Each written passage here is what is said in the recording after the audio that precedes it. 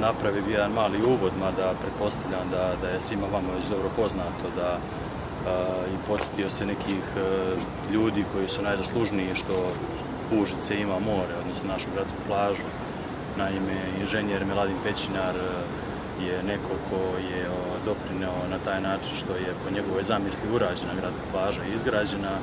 Zatim Vojmir Vojo Bojović je neko ko je predvodio radove na izgradnji ove plaže, ali sve to ne bi bilo moguće da nije bilo tadašnjeg predsednika opštine Rajke Čmenice koji je pružio podršku takvom jednom poduhvatu.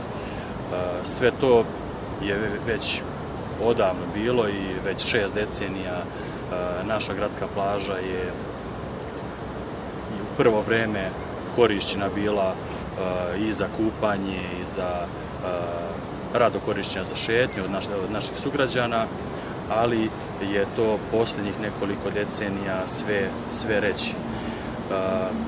Upravo to je ono što želimo da uradimo, da vratimo da kažem, tu prvobitnu funkciju našoj gradskoj plaži i da našim mužičanima pružimo opet mogućnost da se rado ovde i u letnjim mesecima kupaju i da potraže osveženje, ali isto tako da u zimskim mesecima uživaju, uživaju u šetnjama oko plaže. Mi smo nedavno, kao što sigurno vam je poznato, uradili rekonstrukciju košarkaškog igrališta nedaleko odavde.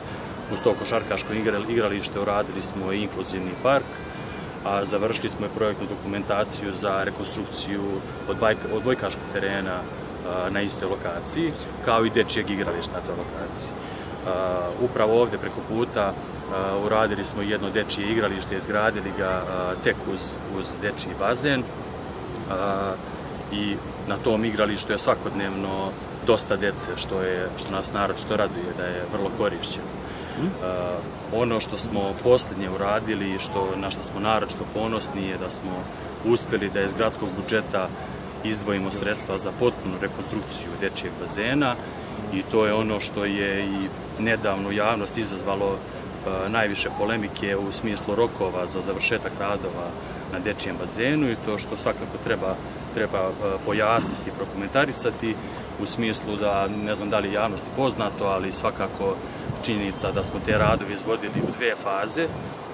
Prva faza koja je ogovorena prethodne godine i koja je predviđala građevinske radove, rok za sve, završetak tih radova bio je decembar mesec, odnosno 31. decembar prethodne godine, dok je druga faza predviđala radove koji su govoreni ove godine i koji se, evo, kao što vidimo tu preko puta, upravo završavaju. Za samo nekoliko dana biće, biće kompletno završeni.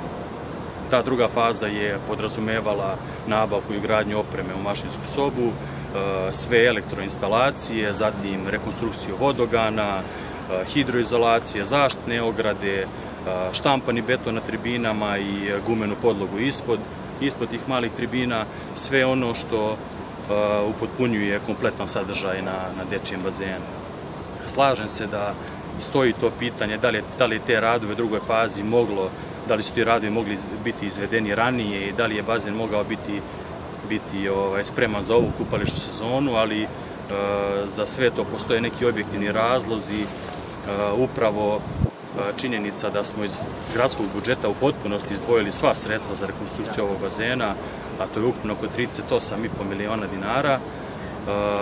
I činjenica da smo na početku godine imali spreman projekat za drugu fazu, daje nam za pravo da smo prosto htjeli da sačuvamo deo budžetskih sredstava grada i da sa tim projektom konkurišemo kod određenih ministarstava za podršku u drugoj fazi, izveđenju druge faze radova. Kako je to kroz neko vreme sve manje postalo izvesno, odlučili smo da u potpunosti sami finansiramo i drugu fazu radova i to je donekle, da kažem, ovaj, odložilo početak radova i odložilo sam završetak. Iako, opet kažem, stoji činjenica da, da ovaj bazen nije završen za ovu kupališnu sezonu, opet to ne menja činjenicu da će to sigurno biti za narednu i da će naši najmlađi užičani to ovaj, siguran sam iskoristiti na pravi način.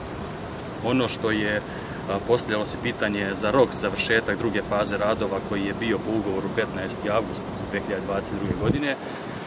Mi smo taj rok produžili izvođaču za 30 dana iz prostog razloga što je ovaj, u julu mesecu i prvoj polovini avgusta su bile izuzetno visoke temperature i izvođač radova nije bio mogućnosti tehnički da izvodi postavljanje pločica keramike u najtoplijim delovima dana, već je to činio samo u ranim jutarnjim časovima, što je donekle omelo radove. Isto tako na predlog stručnog nadzora mi smo dodali dodatne hidroizolacije samog bazena, ali i delimično proširili obuhvat zaštitnih ograda, obzirom da nam je u prvom planu bila bezbednost budućih korisnika, u ovom slučaju dece, stepen bezbednosti je jako bitan i to smo prihvatili taj predlog, pa i iz tog razloga smo te dodatne radove ukalkulisali u ovaj produženi rok. Kao što vidite, radovi su na samom kraju i mislim do kraja ove nedelje, eventualno početkom naredne, to će biti svakako u potpunosti i završeno. Ono što je bitno naglasiti je i činjenica da će u dečijem bazenu voda za kupanje biti sa gradskog vodovoda, što je bitno za, za korisnike i za roditelje, zato što neće, samo korišćenje dečijeg bazena neće biti uslovljeno kvalitetom vode u, u reci, ali ne menja ni činjenicu da mi moramo da nastavimo sa u istom smeru u smislu poboljšanja kvaliteta vode u našoj džetinji i upravo u tom smeru smo i prethodnih godina radili i uradili počeli rešavanje problema fekalne kanalizacije u Turici, uradili smo prepumpnu stanicu glavni kolektor, ali i upravo sada teku radovi na distributivnoj mreži fekalne kanalizacije u ulici Isidore Sekulići i dve bočne ulice, gde ćemo priključiti na, na fekalni kolektor ovaj oko 110 domaćinstava. ono što je vrlo bitno, a to je da ćemo i u narednim, godin, narednim godinama širiti distributivnu mrežu kako bismo smanjili količinu fekalne kanalizacije koja završava u reci, a kasnije ovde na gradskoj plaži, a našim učićama omogućili da ponovo ovu plažu koriste na način kao što su to radili pre više decenija. Isto tako želeo bih da najavim jednu, jednu drugu stvar koju ćemo uraditi i za desetak dana će nam početi radovi ovde sa desne strane obale Đetnje, na desnoj strani obale Đetnje, ovde od hidrocentrale pa do mesta gde smo sada. Radimo rekonstrukciju šetališta i e, tu razmenjamo podlogu, uredit ćemo ograde, e, bit će to jedan potpuno drugačiji izgled. E, isto to svi ti radovi vredni 11,5 miliona dinara bit će finansirani u potpunosti iz budžeta grada, ali isto tako te radove nastavit ćemo i naredne godine sa druge strane, sa le, na levoj obali Četinje.